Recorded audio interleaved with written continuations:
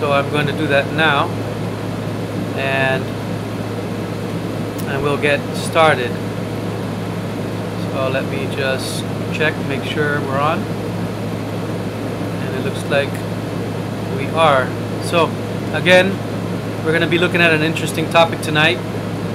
And we're looking at the power of fasting. Can't really see it behind me, but can see there the power of fasting. I should have kind of put it up a little bit higher. But anyway, that's the title of today's study. And so, we're going to go ahead and get started. I want to again welcome you and I thank God for this opportunity to even be able to share with you tonight. And I pray that each and every one of us will get something new possibly out of this study that we're going to go into tonight. So we're going to go ahead and get started. It's now 7:14, and so I'm going to ask you to just bow your heads with me as we um, pray. But before we pray, I want to check one more thing here.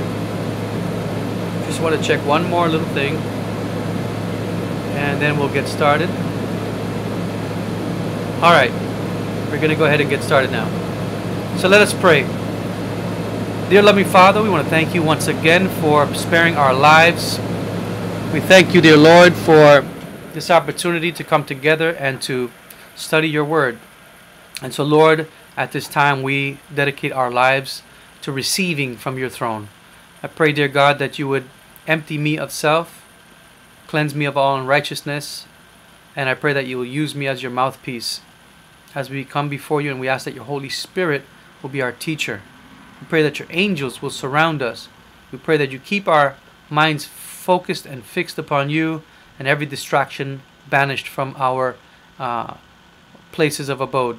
And Lord, we pray for all those that might even see this in the future, that this study will be a blessing to every person that that uh, listens to it. And so, dear Father, take charge now, for we turn this over to you, and we ask this in the name of Jesus Christ, according to your will, with thanksgiving. Amen.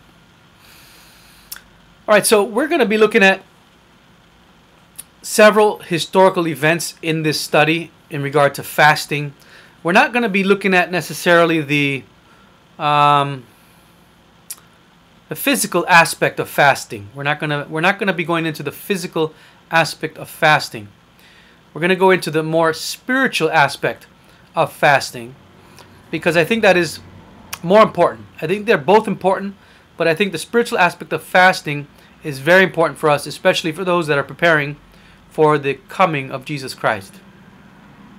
So today we're going to be taking a look at several historical events in the Bible in which the power of fasting brought forth miraculous results. And I'm sure that everybody on this in this study would want that for themselves. Miraculous results as a result of proper fasting. So we want to study these things for the purpose of understanding the significance of a practice that is seldom understood in the spiritual context. We often hear ministers recommending fasting when there is great difficulty in different areas of our lives. One story is often referred to more than others, I think, in the Bible when uh, people talk about fasting or ministers talk about fasting. One story stands out. And I believe that that story, because what happens is that uh, they attempt to reveal when they when they talk about this particular story or this historical record, it is in an attempt to reveal to the subject the power available in prayer and fasting. And that story is found in Matthew chapter 17. So, for those of you that have your Bibles, you can open up to Matthew 17, but or you could just write it down. I, I, recommend that you just write the references down and then go back and look at them later, because sometimes I move a little quickly, and I'm not going to have necessarily enough time to fit everything that I want to fit into this presentation. If uh, you know, I have to stop for everybody to kind of follow along with me. So, Matthew chapter 17, verses 14 to 21.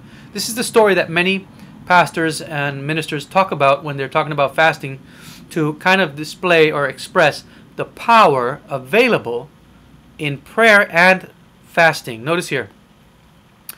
And when they, speaking of Christ and the disciples, were come to the multitude, there came to him a certain man, kneeling down to him and saying, it's, well, kneeling down to who? To, to, to Christ and saying, Lord, have mercy on my son. So this man came to Jesus Christ says, Lord, have mercy on my son, for he is a lunatic and sore vexed. For oft times he falleth into the fire, and oft into the water. So here this man is he's desperate. His son is, you know, has lost his mind. He's controlled by some demonic forces where he throws himself into the fire and water. I mean, he's he's he's hurting himself and you know, that's very dangerous and his father's very concerned. He comes to Christ. And so then he tells him, Listen, I brought my son, or I brought him to the disciples, to thy disciples, but they could not cure him. Then, so Jesus answered and said, O faithless and perverse generation, how long shall I be with you? How long shall I suffer you? Bring him hither to me. So here we see Jesus is, in, in, a, in, a, in, a, in a certain sense, he's rebuking, well, he's actually rebuking for sure, his disciples because this man brought this, his son to, to the disciples and they could not cure this son.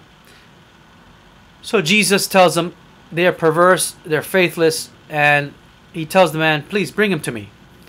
So Jesus rebukes the devil, and immediately what happens? The, the, the devil departs out of the young man. And the child was cured from that very hour, we're told. Then came the disciples to Jesus apart and said, Why why could not we cast him out?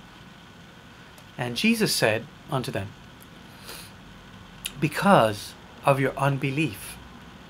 For verily I say unto you, if ye have faith as a grain of mustard seed, ye shall say unto this mountain, Remove hence to yonder place, and it shall be removed and nothing shall be impossible unto you. Howbeit, this kind goeth not out but by prayer and fasting. That's interesting, isn't it? Because Jesus had just worked a miracle that the disciples could not previously achieve.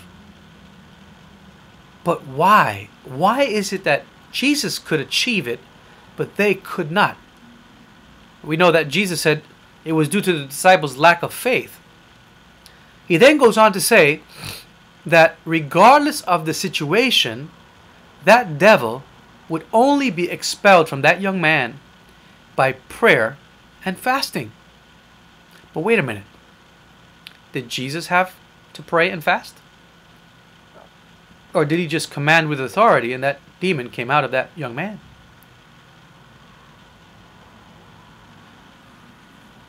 Or did Jesus just command the devil and he just came out at once like we it appears to be so? Did Christ misstate something to the disciples? Not at all. Matter of fact, just before this miracle, Christ and his disciples just had come down from the Mount of Transfiguration. If you go back and read the earlier verses of that chapter, you will see that Christ came down from the Mount of Transfiguration just before that miracle. Uh, matter of fact, if you go back to verses 1 to 13, you can read all about it. Now, why is this significant? And how does it validate the teaching of Christ? Because it was in that mountain that Christ spent a good time actually possibly fasting, but we know for sure that he was praying. Now, why do I say possibly fasting? We'll see in a minute. Now, Desire of Ages, page 419, paragraph 3 says that we're talking about this when he went up into the mountain and he was leading the disciples up into the Mount of Transfiguration. This is what Desire of Ages 419, paragraph 3 and paragraph 4 tell us. It says, The disciples followed where Christ leads the way. Yet they wonder they wonder why their master should lead them up this toilsome ascent where they are weary and when he too is in need of rest. So they were really in a need of rest, but yet Christ says, Come with me, we're going up this mountain. Which was a little odd for the disciples. They didn't understand what he was going to do. Presently, Christ tells them that they are now to go no further. So, so they get to a point where Christ says, Okay, stay here. Stepping a little aside from them, the man of sorrows, he does something. This is what he was doing just before he cast out that demon out of that young boy. He steps a little bit of, aside from the, the disciples, and, and the man of sorrows pours out his supp- supplications with strong crying and tears. He prays for strength to endure the test in behalf of humanity. He must himself gain a fresh hold on omnipotence, for only thus can he contemplate the future. And what does he do? He pours out his heart, his heart longings for his disciples, that in the hour of the power of darkness their faith may not fail. The dew is heavy upon his bowed form, but he heeds it not. The shadows of night gather thickly about him, but he regards not their gloom. So the hours pass slowly by. At first, so he's now, it says hours pass slowly by, means he's praying all this time with deep heart searching, a heart rending supplication for hours, it says. So the hours pass slowly by. At first, the disciples unite their prayers with his in sincere devotion. But after a time, they are overcome with weariness, and even while trying to retain their interest in the scene, they fall asleep. So, this reference from the Desire of Ages, page 419, paragraph 4, speaking about what took place at the Mount of Transfiguration, just before he came down the mountain to actually cast that demon out of that young boy. It does not specifically mention any fasting, but as you read the account of their journey up the mountain there, there is no mention of them stopping to take a break and eating. Matter of fact, it says they were weary, they were weak. It implies that they didn't they had not eaten in a while. Even if they would have just fasted those several hours, there was a type of fasting or or a little time of fasting included in that time. Because obviously Jesus cannot be praying for hours and eating at the same time. So even though it doesn't specifically mention fasting, as you read the account of their journey, uh, you, you can kind of see that they did not eat according to that reference. Plus, as we read, Jesus spent hours, as I said a minute ago, praying in that mountain. Therefore, Christ was not only pr- uh, praying prior to the miracle, but he must have been, or at least for several hours, fasting from food. So Jesus was teaching the disciples how he was able to command the devil to come out of the boy with such authority. When he spoke, he had absolute authority over that demon because he was connected to heaven. Now, we want to understand the true significance of fasting tonight. We don't want to have a superficial understanding of fasting that you're just going to stop eating so that your mind can be clear. We have to understand the deeper deeper spiritual context of fasting. I like the, this morning's devotion we were listening to uh, from Sister Carol, where she was speaking about uh, even diet. She was including diet in her message and uh, um, discipline and all these things, and how the health message is the right arm of the gospel. All of that was very beautiful, and it all kind of ties in to the power of fasting because fasting is a form of discipline, by the way fasting is a form of discipline and it is you know something that paves a way and we're going to see that i'm not going to get ahead of myself but we're going to see that it actually paves a way for something as we move forward we'll see that now in matthew chapter 7 and verse 29 it says that christ taught the disciples as one having authority and not as the scribes Why could he have this authority? Matter of fact, can we have authority? Is Jesus our example? This is what we want to know today. We want to know about fasting, then we have to take a deep investigation into what Jesus is saying to us tonight. Because he taught as one having authority, not like the scribes, because the scribes were really, uh, they were, uh, they, they, they weren't, uh, what do you call it? They were more uh, pretending. They were, they had a pretense about them. But Jesus did not.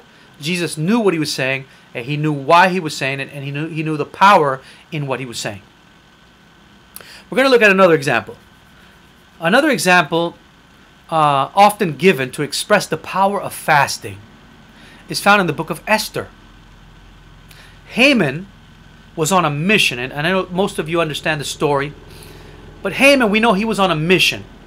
His mission was to annihilate the Jews because, in reality, he was jealous of Mordecai, and Mordecai was a Jew.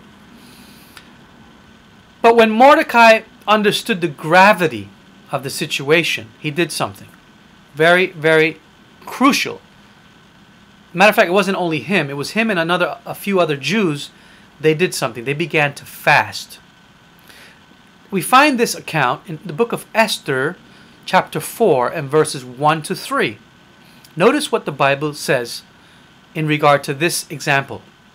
When Mordecai perceived all that was done, talking about Haman and how he wanted to annihilate all the Jews, when he perceived this, Mordecai did something. He rent his clothes, which was a symbol.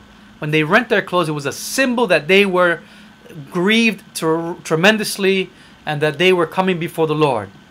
And he rent his clothes and he put on sackcloth with ashes. That was another symbol. That meant that they were they were now going into this the secret chambers of the Lord and they were going to put that was like saying I'm going to put my battle array on. That was their battle array. You know, when somebody would rent their clothes in sincerity of heart and put sackcloth on and ashes, you know, that was a symbol of going to war on their knees. And that's what we say today. You know, we, we, we sometimes we have to go and put on sackcloth and ashes. It doesn't mean we're going to go out there and look like we're fasting and dirty our clothes and put dirt on us. No, it means that we're going to go into our prayer closets. We're going to go now and we're going to we're going to battle. We're going to get on our knees and that's you know Satan, I tell you, the, the, the, the what makes Satan fear the most? I'm telling you, what makes Satan fear the most, what makes him tremble is when God's people get in their knee on their knees. That is the war position. That is where the big guns come out. And Satan has to try to duck for cover. So Mordecai did this.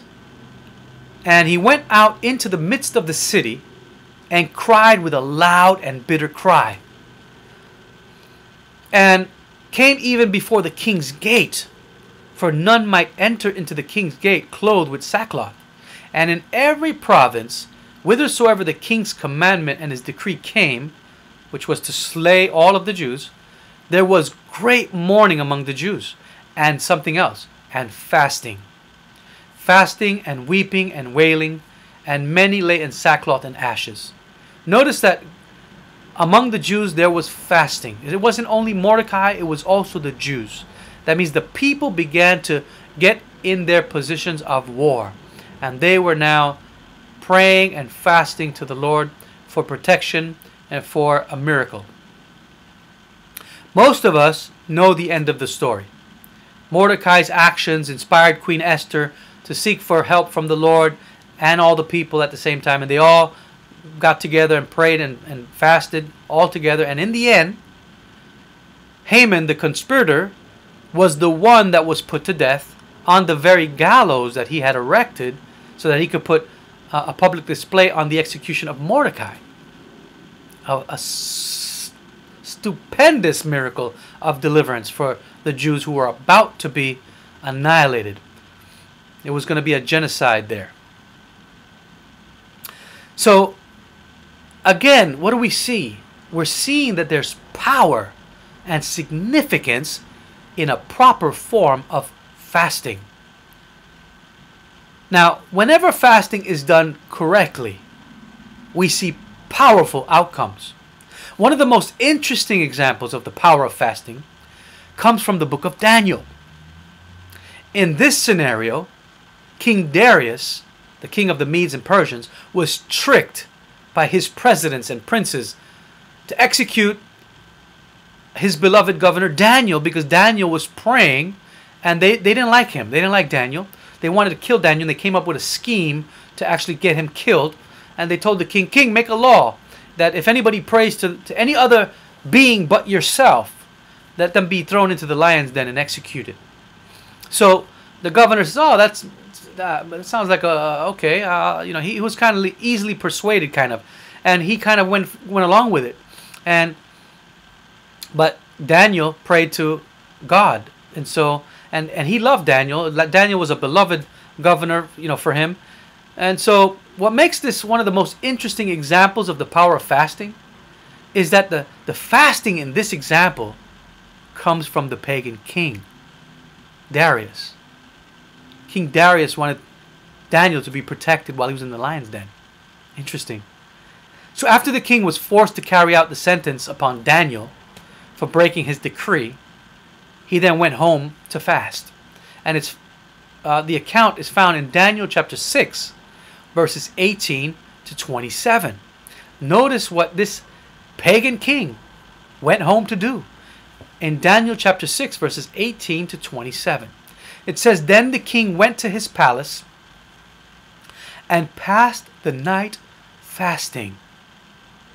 Oh, wow. Neither were instruments of music brought before him, and his sleep went from him. He couldn't sleep. So he fasted the whole night. Then the king arose very early in the morning and went in haste unto the den of lions. And when he came to the den, he cried with a lamentable voice unto Daniel. And the king spake and said to Daniel, O Daniel, servant of the living God, is thy God, whom thou servest, continually able to deliver thee from the lions? Then said Daniel unto the king, O king, live forever.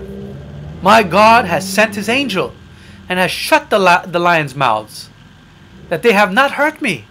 For as much as before him, for as much as before him innocency was found in me, and also before thee, O king, have I done no hurt. Then was the king exceeding glad for Daniel, and commanded that they should take Daniel up out of the den. So Daniel was taken up out of the den, and no manner of hurt was found upon him, because he believed in God. Notice the difference between Daniel and the disciples trying to cast out that demon. Jesus said they had they didn't believe. They had unbelief in their heart. Here we see that Daniel had belief. This is a key component. This is a key crucial aspect of fasting and the power of fasting. Notice that both Daniel and the king had to put their faith in God. This is a pagan king who knew nothing but knew that the God of Daniel must have been a the real God deep down in his heart because he went to go fast and pray to that God. He didn't go fast and pray to his pagan gods. So here we continue to read. So Daniel was taken up out of the den, no manner of hurt was found on him, because he believed in his God. And the king commanded, and they brought those men which had accused Daniel. Now notice again what happens here. A miraculous outcome. What happens? the evil that these men wanted to do to Daniel fell back upon their own heads. So the king commanded, they brought those men which had accused Daniel, and they cast them into the den of, of the lions.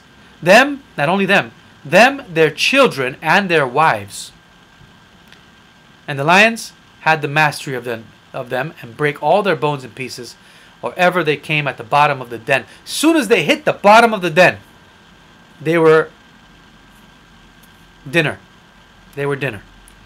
Those lions, they were so hungry, they had not eaten the whole night because they were being, uh, they were being, uh, Daniel was being shielded.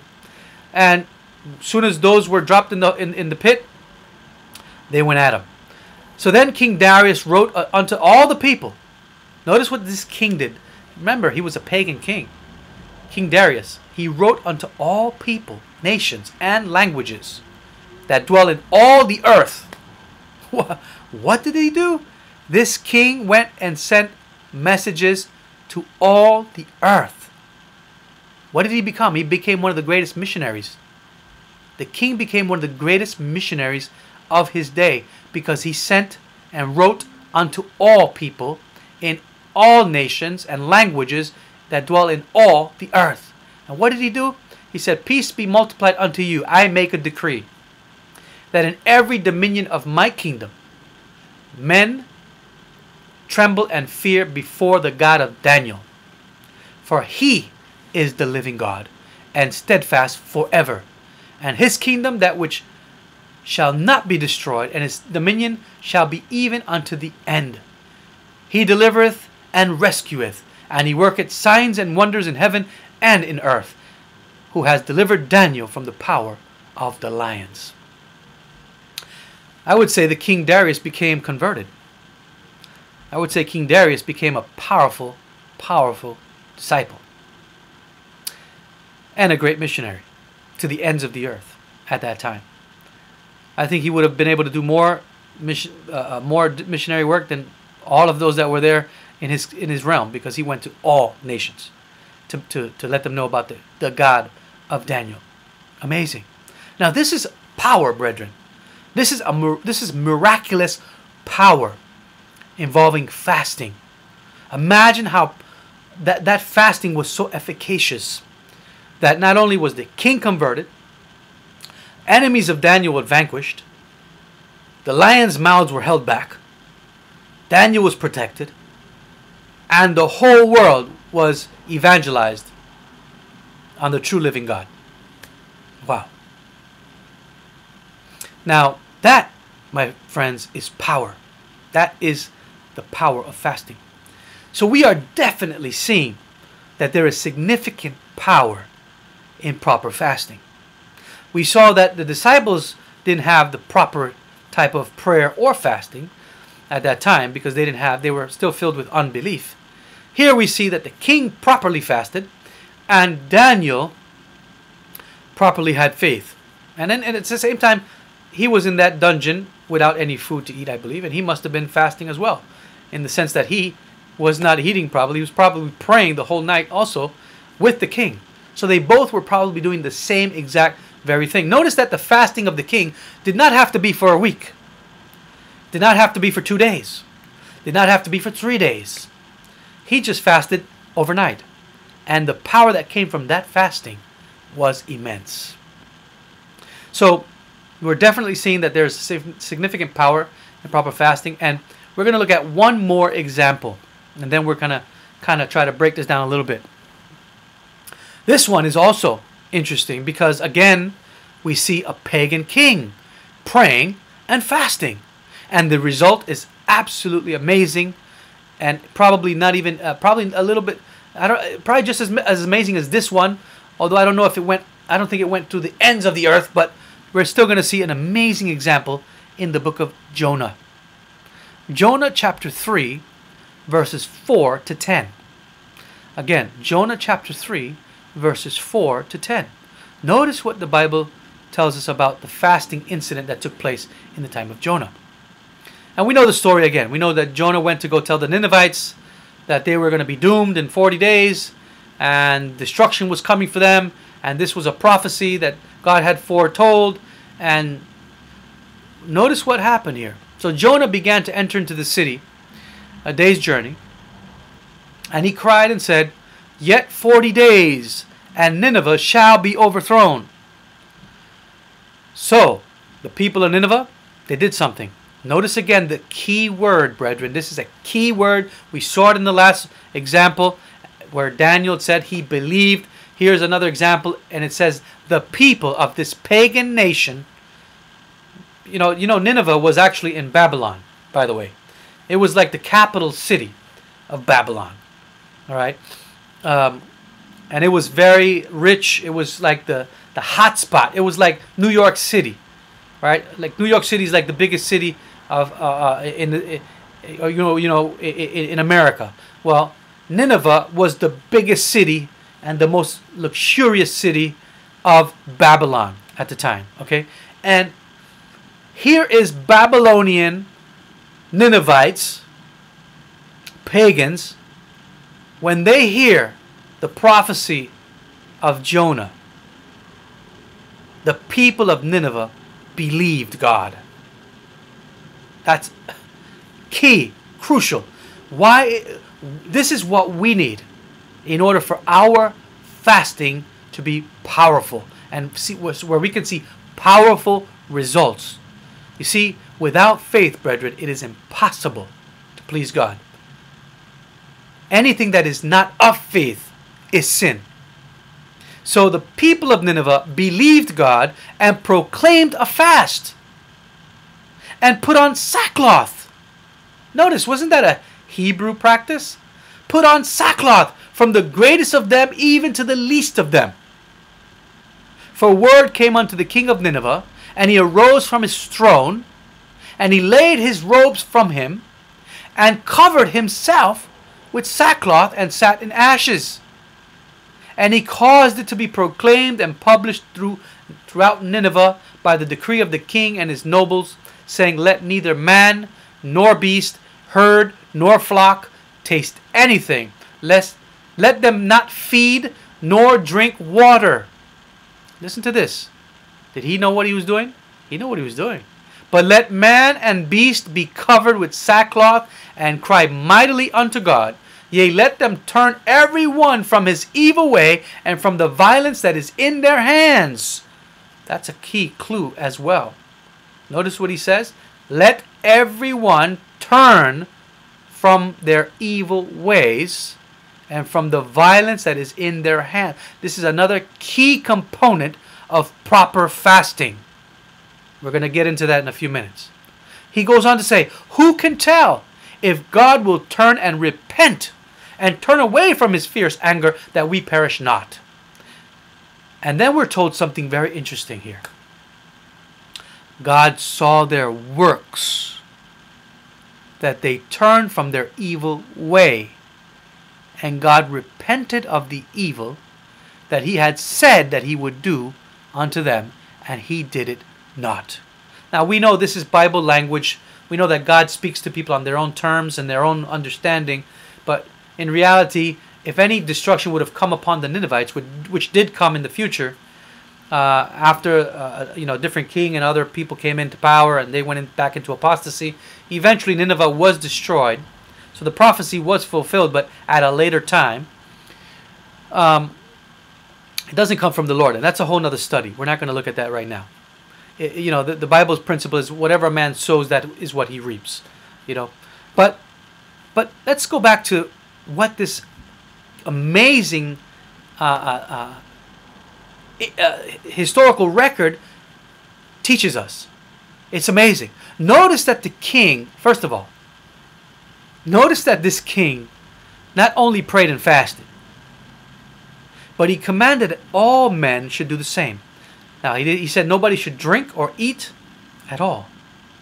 Why? Because he was going into the deepest most ideal way of fasting in the spiritual sense. He didn't want anything to come in between him and his connection and his sincere prayers to the Almighty God. He didn't want anything to block his mind. He, he, he, he wanted to be focused and he wanted everybody to be on the same page. So notice that this king commanded everyone to fast and to pray. He even went further brethren. And this is you probably didn't catch this when we when you read this the first time, or even when I just read it now. But he he even went so far as to command that even the animals pray and fast and be covered in sackcloth and ashes. Did you catch it? He stated, Let neither man nor beast, herd nor flock, taste anything. Let them not feed nor drink water but let man and beast be covered with sackcloth and cry mightily unto God. that let me tell you something. This may be it might seem comical to us that this man commanded not only the men and, and the people, but he commanded the animals to fast. He commanded the animals and the people to pray to God. This is how serious this king was. All right. So it kind of seems kind of comical if you didn't catch it before, knowing that animals cannot pray and they cannot really fast. But this shows how serious this king took fasting and how much he believed the word of God. In actuality, brothers and sisters, this king, he would put many of us to shame. He understood the gravity of the situation. He believed. He was making sure that everyone would be covered. One thing of great significance that we need to take note of from what this king said is what he says concerning the real objective of fasting. He said, Let everyone, let them turn, everyone, from his evil way and from the violence that is in their hands. That is the real objective. The objective of fasting is to become one with God, to come to a place where now nothing separates us from God. Because what does Isaiah 59 tell us? Verses 1 and 2 that sin separates us from God. So we need to, when we come to fast and pray, and we want to see power, the real uh, uh, element needed for power to come from that fasting and prayer is that we have turned from our evil ways and from any violence that's in our, not only our hands, but even in our minds. To understand what this king understood. You see, the understanding of this heathen king in regards to fasting, brethren, is profound. It falls in line with the explanation given to us about fasting by Isaiah, that was given to us by Isaiah. In Isaiah chapter 58, verses 6 to 12. See, what we're looking at now, we're looking at the true spiritual implications of fasting. What is needful for us, the condition of our heart that is needed in order for power to come from our fasting. Notice Isaiah chapter 58, verses 6 to 12. This is the real uh, ingredients needed for a powerful outcome to fasting. Notice it says, Is not this the fast that I have chosen? So now we're going to go into the description of the true condition needful and what fasting is really about. What did the king say? Turn from your evil ways. Do you don't you think that if we were to turn from all of our evil ways and any violence or any anything that is unlike God, any unconsecrated behavior or or, or thoughts, do, don't you believe that your prayers would be so powerful that you, anything you would ask for in His name would come to fruition? The Bible tells us that this is so. Jesus, in reality, all he had to do was pray to the Father, Father, you know, cast this, you know, remove this demon out of this young boy, and it was done. In reality, all that is really needed, brethren, for us to have power in our experience is to know the understanding of the real fasting. The real, proper, deep, spiritual type of fasting. Notice here, it's described in Isaiah 58, verses 6 to 12. Is not this the fast that I have chosen? And here is the explanation, the description of the true fast that God has chosen. What does he say? He says, This is the fast that I have chosen to loose the bands of wickedness. Isn't that what the king told to his people? Get rid, free yourself from the wickedness. Loose the bands of wickedness. To undo the heavy burdens. And to let the oppressed go free. And that ye break every yoke. Wow. Is it not to deal thy bread to the hungry, and that thou bring the poor that are cast out to thy house? When thou seest the naked, thou that thou cover him, and that thou hide not thyself from thy own flesh. What is he saying? These people are our brethren. We're brothers and sisters of the human family. Then shall thy light break forth as the morning, and thine health shall spring forth speedily. Isn't this why we fast? Many of us fast because we need health. We need to overcome some ailment. Or we need some clarity. We need a deeper walk with God. Right?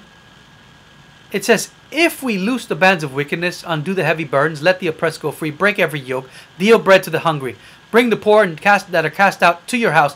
When you see somebody naked, cover him and hide not yourself from these obligations to your fellow man. Then shall thy light break forth as the morning, and thine health shall spring forth speedily.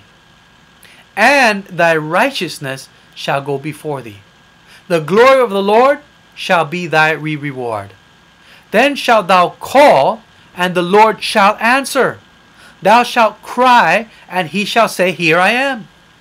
If thou take away from the midst of thee the yoke, the putting forth of the finger, and speaking vanity, and if thou draw out thy soul to the hungry, and satisfy the afflicted soul, then shall thy light rise in obscurity, and thy darkness be as the noonday.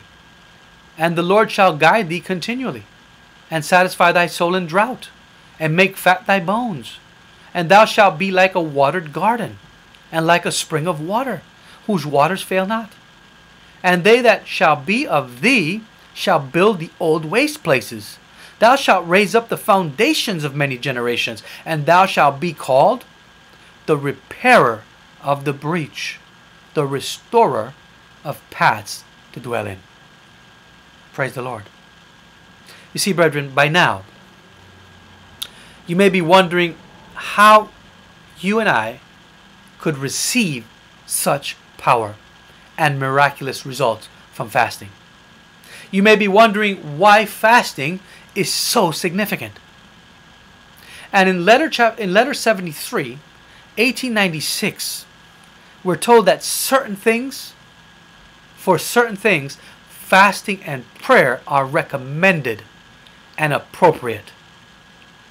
In the hand of God, they are a means.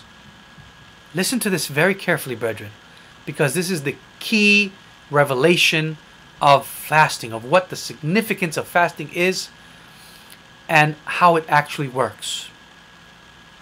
So I want you to pay close attention to this very quotation. God is telling us that proper fasting is something in the hand of God. It says, when you fast properly, that in the hand of God, this type of prayer and fasting, they are a means of cleansing the heart and promoting a receptive frame of mind. In other words, and it says, it goes on to say, we obtain answers to our prayers because we humble our souls before God. Notice that proper fasting are a means of cleansing the heart and promoting a receptive frame of mind in the hand of God when we do it properly. You see, prayer cleanses the heart, while fasting promotes a receptive mind.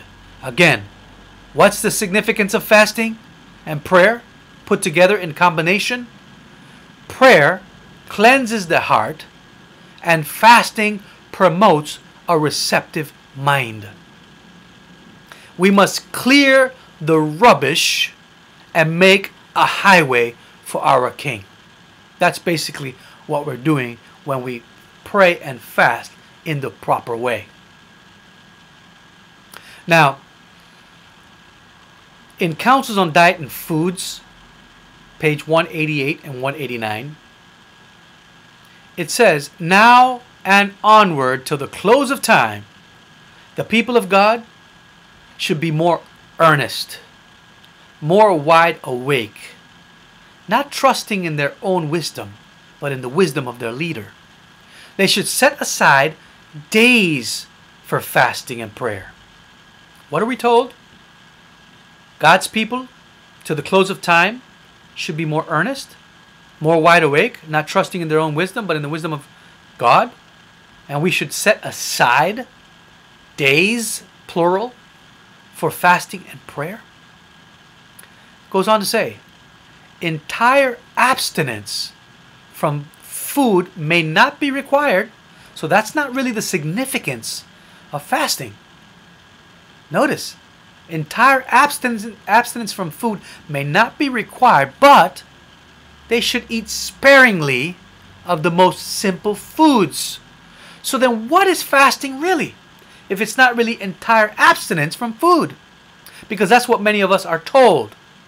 We're taught that fasting is only you just stop eating and, and maybe sometimes you stop drinking and you just focus and pray. The true significance of fasting, brethren, is turning away from our evil.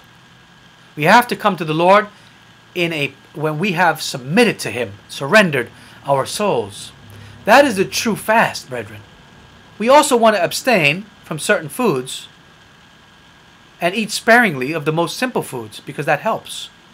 And even if we, we, we, we don't eat or drink, that's even that's the most ideal form of fasting and the most serious occasions. So there's different ways of fasting in regard to the physical food and drink and all that.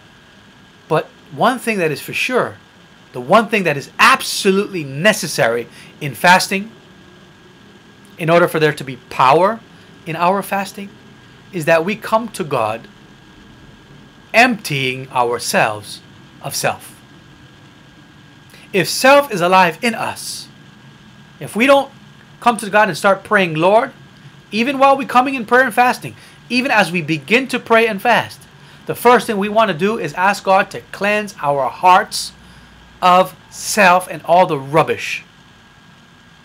And when we do that with a sincere heart, and then we clear our mind and, and, and, and make a way so that we, we don't have anything distracting our digestive system, our brain is not functioning on anything else other than hearing God's direction and counsel and admonition, there will be power in that type of fasting.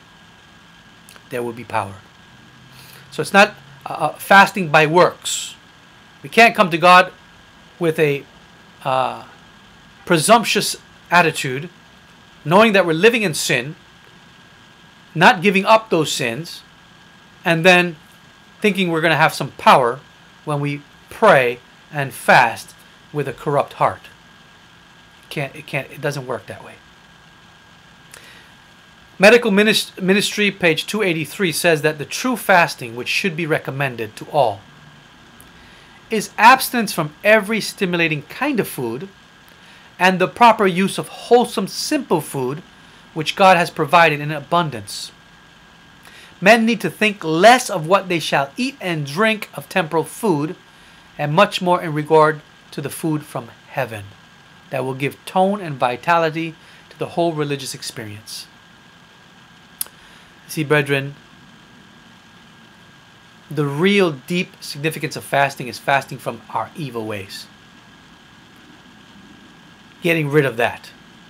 Testimonies for the Church, Volume 5, page 209 and 210, says the leaven of godliness has not entirely lost its power. At the time when the danger and depression of the church are greatest, the little company who are standing in the light will be sighing and crying for the abominations that are done in the land. But more especially will their prayers arise in behalf of the church because its members are doing after the manner of the world.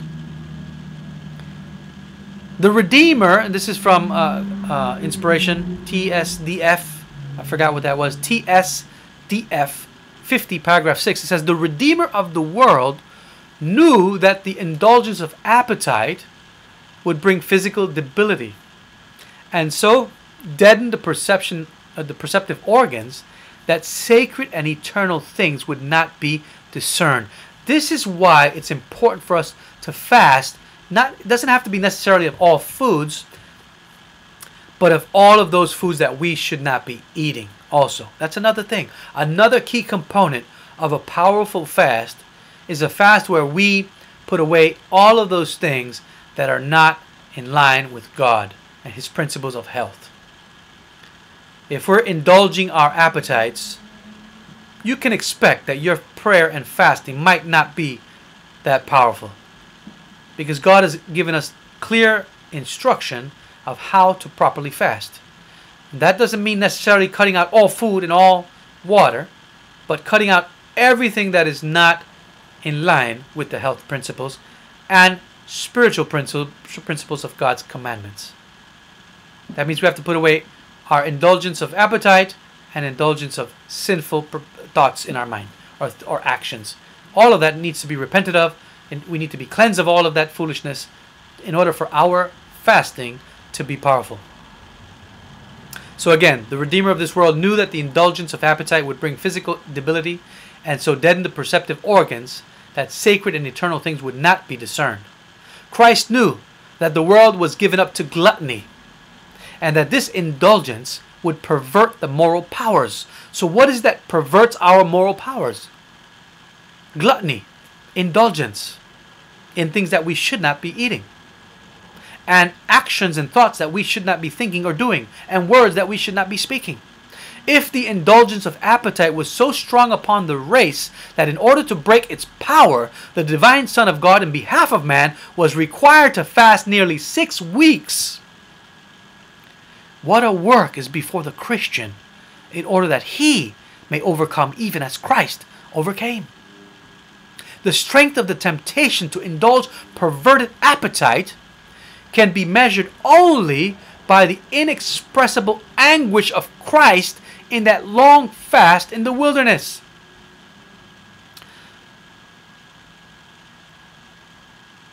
First uh, testimony uh, TT, page 212, paragraph 2, says fasting and prayer will accomplish nothing.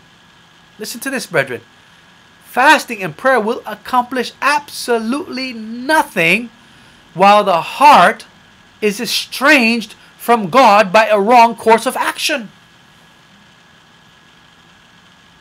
So it's not necessarily not eating and drinking. In reality, it's not eating what we're not supposed to be eating and not doing the things we're not supposed to be doing. That's the, the real true significance and, and the source of power in fasting. the Mount of, of Thoughts of the Mountain of Blessing, uh, page 87, paragraph 1, says that the fasting which the Word of God enjoins is something more than just a form. It does not consist merely in refusing food, in wearing sackcloth, in sprinkling ashes upon the head. He who fasts in real sorrow for sin will never court display. In other words, you're not going to go and tell the whole world you're fasting and you're going to go looking sorrowful to work or wherever you go so that people know you're fasting. Not at all. Because that's a pretense. Somebody who's truly dedicated and surrendered to God and has a real sorrow for sin is not going to go out there and make a display of their works of fasting. The object of the fast, going on, reading on to verse 2, which God calls upon us to keep, is not to afflict the body for the sin of the soul, but to aid us in perceiving the grievous character in, of sin, in humbling the heart before God and receiving His pardoning grace. That's the real objective. That's the real purpose. That's the real uh, ingredients necessary for this recipe in order for there to be power in fasting. In Joel chapter 2, verses 12 and 13, our final verse, because we're going to close now, we're given an admonition, brethren. The admonition is, Therefore also, also now, saith the Lord, turn ye even to me with all your heart and with fasting, and with weeping, and with mourning, and rend your heart, but not your garments. Turn unto the Lord your God, for he is gracious and merciful, slow to anger, and of great kindness, and repenteth him of the evil. doesn't mean God has any evil in him. It's just language. This is biblical language. It's actually an idiom, Hebrew idioms that they use in the Bible. It means that God will actually be merciful to us. Anytime that we come to Him in sincerity, the Lord will not refuse us. The Lord has open arms wide open for us. He's waiting for us, brethren. He's waiting for us to come to to be honest individuals because if we're living a life of hip- hypocrisy, if we're if we're if we have one foot in the world and one foot in the church, that's a farce. That is hypocrisy. And and to come to God in that condition without any deep desire for repentance and reconciliation that's presumption. And that's sin. That's a repentance, or that, that is actually a fasting that needs to be repented of. We can be fasting and committing sin because it's, it's presumption. So, brothers and sisters, I pray as we close now, I pray that this study would have been helpful to, to you as it has been to me. Because every time that I do a study, I know it, it's like a two edged sword. It, it, it, slices uh, the hearts of those that listen, and it also slices my heart. And I tell you, I have been blessed by this message, and I just want to thank God for that. And so, as we now close, we're going to actually uh, bow our heads and pray. So, I'm going to ask you to bow your heads with me as we thank God for this study and as we commit our hearts to Him and ask Him to continue to be merciful with us, continue to teach us, and continue to guide us and, and open up our minds. I pray that everybody that's listened to this message today understands that there is there are some things that are critical and necessary to be in place in order for our fasting to have power. Number one, we have to believe. We saw that early on in this study. We have to believe. We have to really, truly, 100% believe God, believe His Word, believe in what we're doing. We have to come with a humble heart and sincerity. I mean, seriousness when we come before God. We have to uh, not be in a condition where we're indulging our appetite. We can't come to God where we just ate a cheeseburger and a french fry and come to fast after that. That, that doesn't make any sense. That, that's ridiculous. We have to prepare our bodies and mind to fast. So, how do you do that? So, prior to fasting, we have to make sure that we're eating the right things, preparing our bodies and mind to, to be able to cooperate with the mind. Another thing we need to do is what? Prepare the mind. How do we prepare the mind?